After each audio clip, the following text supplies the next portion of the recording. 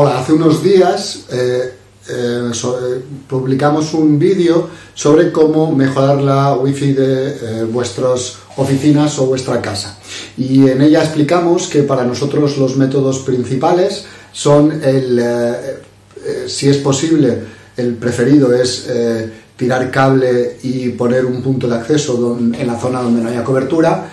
Eh, el siguiente método preferido sería el PLC y el siguiente los repetidores eh, que a nosotros no nos gustan. ¿vale? El, eh, a partir de ello, y nosotros lo que solemos montar son tirar cable y poner un punto de acceso. Pero a partir de ese vídeo ha habido mucha gente que nos ha preguntado sobre los PLCs. Así que hoy queríamos hacer un pequeño inciso so- explicando qué es un PLC, cómo funciona y eh, ventajas e inconvenientes. ¿vale? Eh, el PLC, en nuestra opinión, se usa cuando no es posible eh, coger un cable y tirarlo desde donde está el router hasta donde no tenemos cobertura, porque o las cajas de, nuestra, de registros de nuestra casa no nos dejen eh, estén llenas o, sea complicado tirar cable por ahí para que no sea visto, eh, o porque el tirar un cable visto sea muy largo y quede muy feo y no queramos, ¿vale? Si no es posible, entonces no nos queda la opción de un punto de acceso en el otro lado y tenemos que ir, el PLC es una buena opción. PLC, eh, las siglas son Power eh, Line Communications, que significa que vamos a usar las líneas eléctricas ya presentes en nuestra casa, el circuito eléctrico, para transmitir la señal a partir de ahí, ¿vale? Y el PLC consta de un aparato que vamos a usar como eh, transmisor, ¿vale? Eh, que se enchufa ¿vale? a nuestra red eléctrica en un enchufe, no en un ladrón, en un enchufe, en nuestra red eléctrica al lado del router y aquí tiene, si tenemos el router aquí, ¿vale? Aquí tiene una conexión por cable conectamos por cable directamente al transmisor. Una vez que hemos conectado al transmisor, en teoría toda, nuestra casa se convierte a través de la red eléctrica en un eh, eh, en unas eh, toda la red eléctrica se convierte en posibles receptores vale y entonces tenemos cualquier enchufe de nuestra casa o oficina podría usarse para un receptor vale entonces cualquier enchufe volvemos a lo mismo mejor no usar un enchufe una regleta sino usar un enchufe le podemos poner un receptor y de ahí si el receptor es solo de cable pues tirar un cable y con un switch eso tener conexiones en todo el lado o si eh, si el receptor tiene wifi pues podemos crear un punto de acceso ahí ¿vale?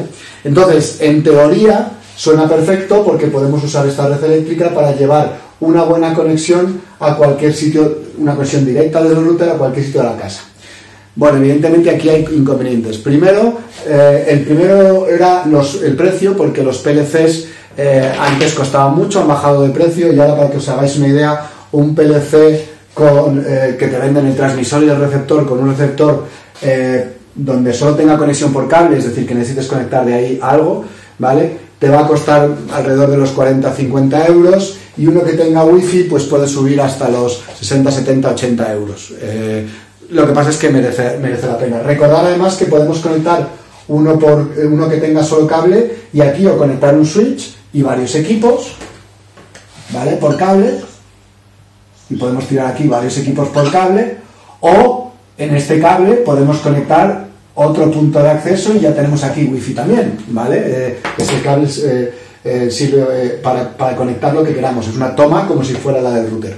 Vale, ¿cuál es el siguiente inconveniente para nosotros? Ya lo mencionamos en el otro vídeo. Es que las casas suelen estar divididas en diferentes circuitos eléctricos que se llaman fases para que si se cae la luz en uno, por protección, si se cae la luz en uno no afecte al resto, etcétera. O si hay una subida de voltaje en uno no afecta al resto.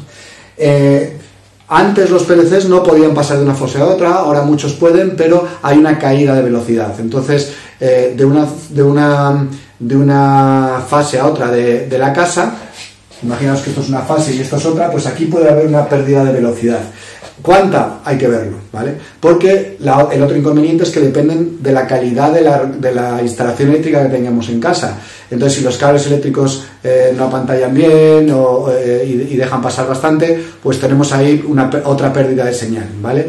Y em, eh, también se ven afectados por, pero eso pasa también con la wifi, por electrodomésticos, etcétera, que pueden crear interferencias. Para que os hagáis una idea, nuestra corriente en España va a 50 hercios y 220 voltios. Eh, la eh, señal que metemos a través del mismo enchufe va a decenas de megahercios, es decir, está modulada a una frecuencia diferente, con lo que vamos a poder meter la señal por el mismo cable sin que afecte y eh, tienen a un menor voltaje, ¿vale? Entonces, por el mismo cable van dos señales con diferentes características, no intervienen. Pero si hay electrodomésticos al lado, puede que interfieran en mi, eh, la señal de mi PLC. Puede, tenemos que probarlo, ¿vale? Y eh, recordar que tenemos el, emisor, puede ser, ya hemos dicho, con cable, o puede ser directamente que te dé eh, wifi y entonces vaya a, cubrir toda la casa. En conclusión, buena opción cuando no podemos tirar cable, depende mucho de la instalación del sitio, eh, a veces es, conveniente simplemente comprar o probar con unos y ver qué tal señal da. Eh, empezaron pudiendo, teniendo, unos límites eh, bastante pocos, pero inferiores, pero la tecnología va subiendo y ahora el ancho de banda que transmiten es bastante bueno y la velocidad bastante bueno y varios cientos de metros pueden extender, pero es que además es que no hace falta porque tú puedes usar este cable eh, no hace falta que vaya, eh, te vayas al circuito más lejos, sino que puedes poner uno aquí, otro aquí, otro aquí.